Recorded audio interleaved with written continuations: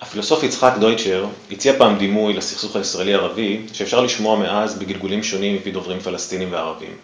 הדימוי הולך ככה, אדם מנסה להציל את חייו, קופץ מבניין בוער. בדרך למטה הוא נתקל בעובר אורח תמים, שלא היה לו שום קשר לעניין, פוגע בו והופך אותו לנכה.